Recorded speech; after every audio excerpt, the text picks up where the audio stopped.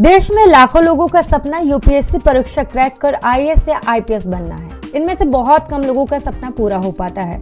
आमतौर पर कोई भी एक सरकारी नौकरी मिलना नेमत की तरह है। लेकिन कुछ ऐसे लोग हैं जिन्हें एक के बाद एक नौकरियाँ मिलती हैं। इसके पीछे उनकी लगन, मेहनत और प्रतिभा होती है। ऐसे ही गुजरात कैडर के आईपीएस अधिकारी प्रेम सुख डेलू राजस्थान के बीकानेर ज़िले के निवासी आईपीएस प्रेम सुख डेलू को एक के बाद एक बारह नौकरियाँ मिली। वो यूपीएससी सिविल सेवा परीक्षा क्रैक करके आईपीएस बनना चाहते थे। राजस्थान के बीकानेर के रहने वाले प्रेम सुख डेलू का जन्म एक सामान्य से किसान परिवार में हुआ। उनके पिता ऊट गाड़ी चलाते थे और उससे सामान ढोते थे।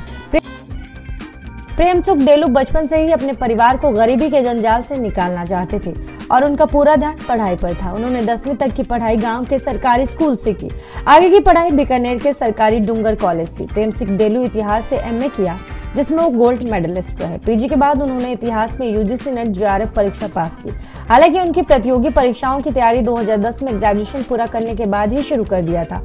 इसके लिए प्रेरित उनके भाई ने किया, जो राजस्थान पुलिस में कांस्टेबल है।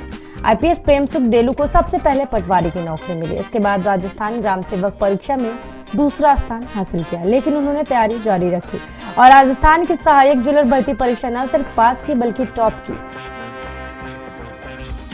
जेलर का पद ग्रहण करते, इससे पहले वो राजस्थान पुलिस में सब इंस्पेक्टर बन गए। तब वो यूजीसी नेट परीक्षा पास करने के साथ बीएड कर चुके थे।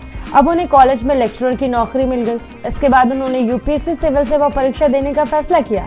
इसके बाद उनका सिलेक्शन राजस्थान पीसीएस परीक्षा के ज़रिए तहसीलदार पद पर हुआ। तहसीलदार जैसा बेहद व्यस्तता और ज़िम्मेदारी भरा पद संभालते हुए उन्होंने आई बनने का सपना नहीं छोड़ा। वो ऑफ़िस ड्यूटी खत्म होने के बाद पढ़ते रहे। आखिरकार साल 2015 में दूसरे प्रयास में यूपीएससी सिविल सेवा परीक्षा में कामयाबी मिली। वो आईपीएस बन गए। प्रेम सुख डेलू की ऑल इंडिया रैंक 170 थी। उनकी पहली पोस्टिंग गुजरात के अमरेली ज़िले में एसीपी के पद पर हुई।